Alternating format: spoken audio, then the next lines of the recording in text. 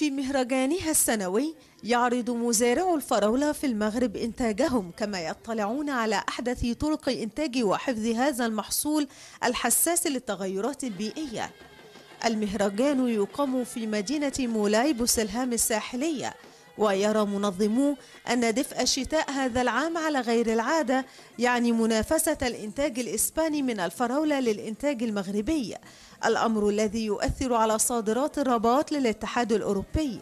التغيرات المناخية على الإنتاج توت الأرض لهذا لهذا الموسم لأنه من ناحية التسويق لأنه تتمنع مع الاسباق توت الأرض الإسباني.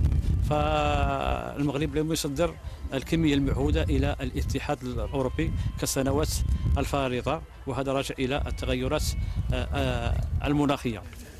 واحد الطرف كنبيعوا في السوق المحلي واحد الكمية كنصدروها للخارج هذا العام كان الانتاج متوفر نظرا للطقس كان شوية الحراره في شهر نوفمبر ديسمبر كان الانتاج كان الانتاج في السوق الاوروبيه بحال إسبانيا كان المشكل ديال ديال ديال الاثمنه حاليا دابا دزنا لواحد المرحلة ديال ديال l'industrie كنقولوا l'industrie l'industrie كيولي الثمن fixe stable. إحصاءات وزارة الفلاحة والصيد البحري تفيد بأن المغرب كان أحد أكبر مصدري الفراولة في عام 2014 فاش تنجبروا شي سوق أو شي سوق تنقلبوا على شي أسواق واحدة أخرى.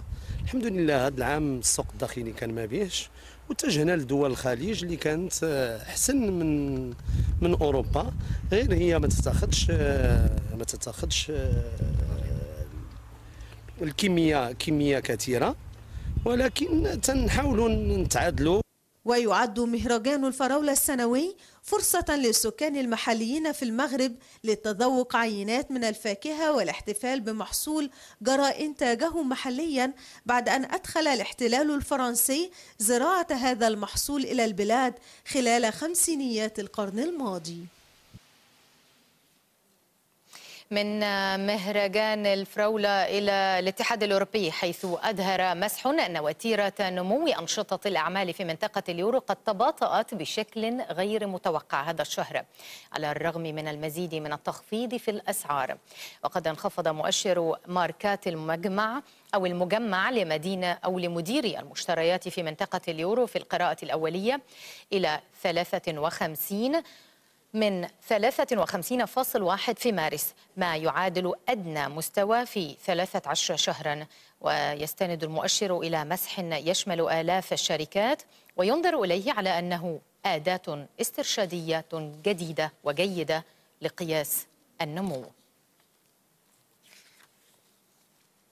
في ألمانيا قالت المستشارة الألمانية أنجيلا ماكل إن الانتقادات داخل ألمانيا لأسعار الفائدة القياسية المنخفضة التي يتبناها المركزي الأوروبي وهي انتقادات مشروعة.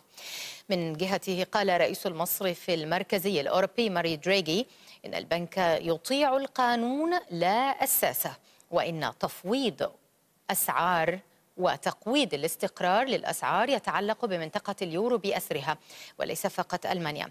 كما اعتبر دريغي أن وجود بريطانيا في الاتحاد الأوروبي من مصلحة الطرفين مطمئنا إلى أن خطر خروجها منه على النهوض الاقتصادي لمنطقة اليورو سيكون محدودا.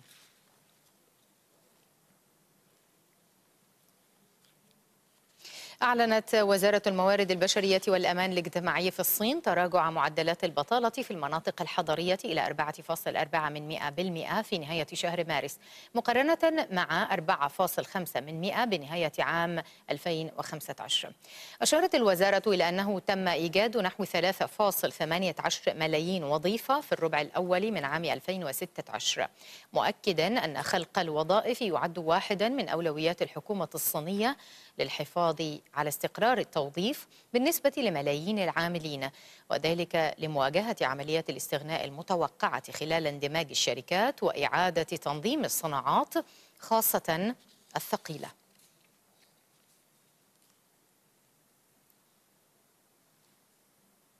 إذا وصلنا مشاهدينا لختام هذه النشرة الاقتصادية. شكرا للمتابعة. عودة مرة أخرى لمواصلة بانوراما النيل مع إيمان وتامر إليكم. شكرا جزيلا لك حنان. منعت سلطات الاحتلال الإسرائيلي عشرات الفلسطينيين في قطاع غزة من التوجه إلى القدس عبر معبر بيت حانون لأداء الصلاة في المسجد الأقصى المبارك بذريعة الاحتفال بعيد الفصح اليهودي كما أعلنت السلطات الإسرائيلية غلق كافة نقاط العبور مع الضفة الغربية المحتلة وقطاع غزة اليوم وغدا للاحتفال بالعيد اليهودي. ومن المقرر أن يبدأ سريان قرار الإغلاق اليوم في العاشرة مساء بتوقيت جرينتش الثانية عشرة بتوقيت القاهرة وينتهي يوم السبت عند منتصف الليل. في الوقت نفسه قررت محكمة عسكرية إسرائيلية الإفراج عن جندي أطلق النار على أحد الجرحى الفلسطينيين في مدينة الخليل جنوب الضفة الغربية المحتلة. قبل نحو شهر ما تسبب باستشهاده على الفور. وذكرت وسائل الإعلام العبرية أن المحكمة أفرجت عن الجندي ألينور أزاريا الذي أعدم الشاب الفلسطيني عبد الفتاح الشريف في الخليل. فيما لا زالت إجراءات المحاكمة جارية بعد اتهامه بالقتل غير العمد في القضية. كانت المحكمة العسكرية بمدينة يافا قد أدانت قبل أربعة أيام أزاريا بالتسبب بموت عبد الفتاح الشريف في مدينة الخليل قبل ما يقارب شهر بعد قيامه بإطلاق النار عليه وهو مصاب وملقى على الأرض.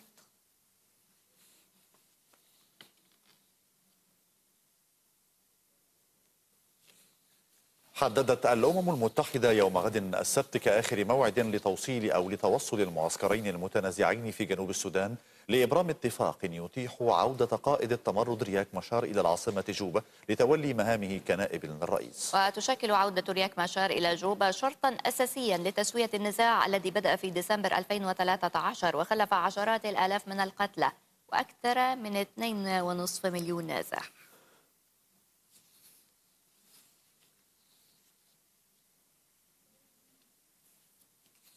قتل اليوم ثلاثة جنود أتراك وأصيب آخرون في انفجار استهدف قافلتهم العسكرية في إقليم تونغلي بشرق تركيا. وأعلن مسؤول عسكري إن هذا الانفجار نجم عن عبوة يدوية الصنع زرعت إلى جانب الطريق.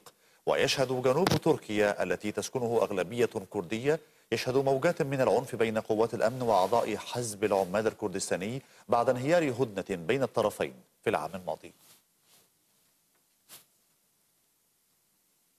حتى الرئيس الأمريكي باراك أوباما بريطانيا على أن تظل وثيقة الصله بحلفائها في أوروبا للمساعدة في الحملة الدولية ضد الإرهاب.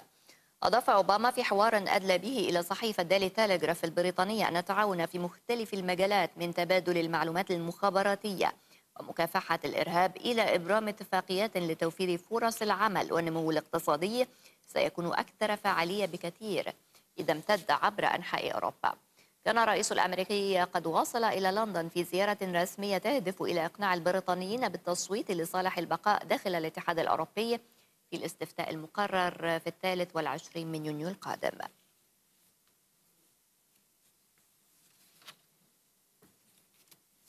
نفى كبير أمناء مجلس الوزراء الياباني يوشيهيدي سوغا في مؤتمر صحفي اليوم قيام اليابان والولايات المتحدة بالترتيب لزيارة يقوم بها الرئيس الأمريكي باراك أوباما إلى مدينة هيروشيما اليابانية. كانت صحيفة نيكي اليابانية قد ذكرت أن أوباما سيزور هيروشيما بعد قمة مجموعة السبعة التي تستضيفها اليابان في أواخر الشهر القادم. في أول زيارة لرئيس أمريكي خلال فترة رئاسته للمدينة اليابانية التي تعرضت لهجوم نووي أمريكي قبل 71 عاما. كان وزير الخارجية الأمريكي جون كيري قد زار هيروشيما في وقت سابق خلال الشهر الجاري حيث وضع إكليلا من الزهور على النصب التذكاري لضحايا الهجوم النووي دون أن يقدم اعتذارا لذلك. في هذه البانوراما أيضا ولكن بعد أخبار الرياضة. أكثر من 160 دولة يوقعون اليوم اتفاقا حول المناخ في الأمم المتحدة لإبطاء ارتفاع حرارة الكرة الأرضية.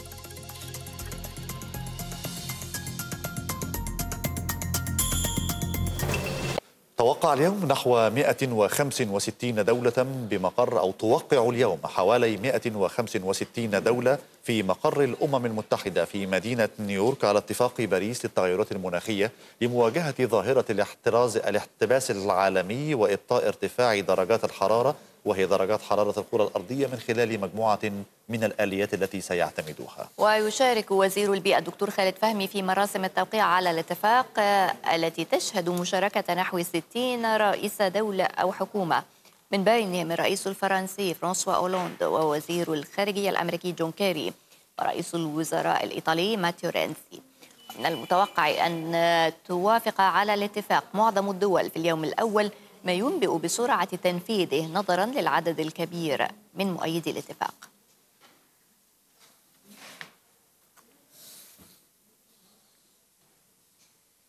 انطلق في القاهرة مؤتمر تحضيري لفعاليات مهرجان الهند على ضفاف النيل. المهرجان سوف يضم عددا من العروض الفنية الموسيقية والرقصات الهندية الكلاسيكية موزعة على عدد من المحافظات. من مقر السفارة الهندية بالقاهرة سوف تنطلق فعاليات مهرجان الهند على ضفاف النيل في الثالث والعشرين من إبريل الجاري. لهذا انطلق المؤتمر التحضيري بحضور السفير الهندي بالقاهرة وعدد من الفنانين والمسؤولين. يساهم مهرجان الهند على ضفاف النيل في تحقيق التقارب بين أبناء الشعبين الهندي والمصري ويفتح آفاقا جديدة لتبادل الخبرات. ويطرح فرصا جديدة تستحق المزيد من البحث من الجانبين. من أربع سنوات حينما انطلقت الدورة الأولى من المهرجان انطلقت في ظروف يعني شديدة الصعوبة. ولم تتراجع سفارة الهند ولم يتراجع الأصدقاء عن إطلاق هذا المهرجان وهذا الحدث المهم وهكذا بالفعل يعرف الأصدقاء الأصدقاء في وقت الشدة. تحدث السفير العزيز على المساهمات الاقتصادية وعلى الاستثمارات التي تشارك بها الهند في مصر. المهرجان يقدم مجموعة من العروض الفنية المختلفة من بينها بوليود قصة حب وعروض موسيقية وأيضا أشكال الرقص الكلاسيكي الهندي. مهرجان الهند على ضفاف النيل يعكس أشكالا من الثقافة الهندية في أحسن صورة في مصر حيث استمتع الجمهور المصري بمختلف فقرات المهرجان في دورته السابقة وأشادوا بها أيما إشادة. ولا يقتصر المهرجان على الفنون فقط بل ستكون هناك ندوة اقتصادية بعنوان اصنع في الهند لتبادل الخبرات والمعلومات بين الجانبين الهندي والمصري. الامتزاج الثقافي بين مصر والهند يعد نافذة للشعبين وعنوان المهرجان الهند على ضفاف النيل يمثل نوعا خاصا لكون ارتباط المصريين بالنيل يرتبط بالوجود والحياة. رمضان المطعني النيل. وهذه نقطة ختامنا ومعها نذكر بأهم ما كان معنا من أنباء العلاقات الثنائية وقضايا المنطقة ومكافحة الإرهاب تتصدر محادثات الرئيس السيسي وولي عهد أبو ظبي. ديمستورا يؤكد استئناف مفاوضات جنيف حول سوريا الأسبوع القادم رغم قرار وفد المعارضة تعليق مشاركته. مفاوضات مباشرة اليوم بين أطراف النزاع اليمني في الكويت برعاية الأمم المتحدة. وصلنا إلى ختام هذه البانوراما الإخبارية الشاملة. أتتكم من الجيل إلى اللقاء.